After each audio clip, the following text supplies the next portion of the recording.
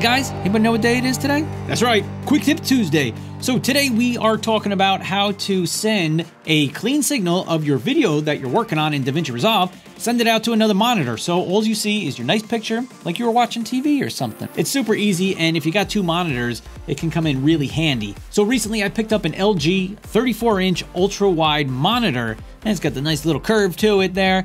But uh, I'll do a little video on that if you guys are interested. Leave a comment down below. But I was getting a little tired of working on the little screen on my laptop here, and I thought, hey, it's time to upgrade, right? So now I've got the two monitors, and it is nice to be able to put a clean video feed on one monitor so that way I can see the video as it is as I'm working on it, and then have my timeline in DaVinci Resolve all in the other window.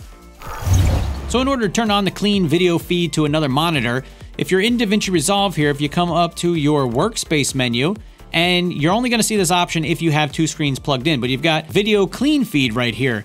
So right now it's set to none, but I also have color LCD, which is my MacBook Pro here, and then I've got my LG Ultra Wide. So if I go ahead and click on that, it'll automatically send it out to my ultra wide screen. And now I can watch my video and see it nice and clean in the window and see how it's looking as I'm working on my edit. So if you have two monitors, another cool thing you can do is come down here, turn off your clean video feed, and then you want to go back to your workspace menu, come down to dual screen, and you can turn on two screens. All right, so there you go, video clean feed. That's how you do it here in DaVinci Resolve. Get to see your video looking good and uh, nice and clean with nothing around it while you're working on your project. So if you found this video helpful, give it a thumbs up, subscribe to the channel if you haven't already. I look forward to seeing you next Tuesday, and don't forget Thursdays we put out videos too, so check that one out. If you hit the little bell, you'll know every time I put out a video. So I will see you guys in the next video. Peace!